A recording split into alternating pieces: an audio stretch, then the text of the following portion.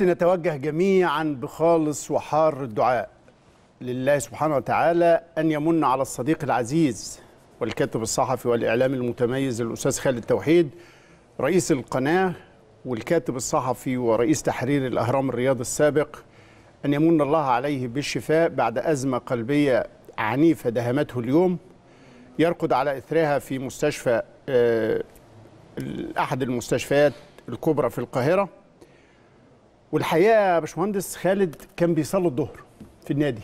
يعني صلوا الظهر في النادي. في الركعة الثانية حصلت الأزمة العنيفة جدا. لطف الأقدار ورحمة ربنا إنه المستشفى القريب من النادي مباشرة مستشفى المعلمين. فعلى الفور تم التعامل بالإسعافات السريعة مع الحالة وتم نقل آه، الأستاذ خالد توحيد للمستشفى. الحالة تحتاج إلى دعوة أو دعوه دعاوي كل الناس المخلصة والمحبة آه انه ربنا سبحانه وتعالى يمن عليه بالشفاء. العصر كده. آه.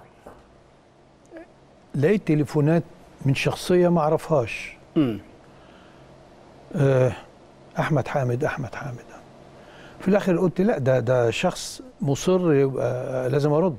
امم فرديت فقال لي أنا باشمهندس عدلي من أمن مستشفى المعلمين. ولقيت من من واجبي إن أنا أقول لحضرتك حالة خالد من توحيد. وحكى لي إن يعني الحقيقة وأثنى وقال لي إن الدكاترة كمان أثنوا على دور الإسعاف المقيم في النادي الأهلي في إسعاف آه، آه، تعامل مع الحالة على طول ونقلها آه، يعني مش عايز أوصف الحالة المزعجة اللي كان منقول عليها ربنا يديله الصحة الزميل العزيز خالد. عشان ما ازعجش كمان الناس محبيه واهله لكن آه، المهم إن القلب آه، عملوا له ال- ال- التدخلات والصدمات الكهربائية استجاب وحركة وهو الآن في آه، العناية المركزة. خالد من الذين يسرفوا على أنفسهم يثقل على نفسه كثيرا.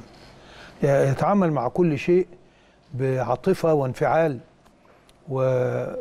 وما بقولش إن ده السبب لأن إذا كان ده السبب كلنا هذا الرجل آه إنما آه هي مشيئة الله وبإذن الله ربنا يعديه على خير ويرجع معافى آه بكامل موفور الصحة إن شاء الله آه ويرجع آه نناكب في بعض تاني بإذن في القناة تعالى. هنا خالد. من الإعلاميين الكبار الكبار صديق النكهة. الحقيقة. آه والشخصية و...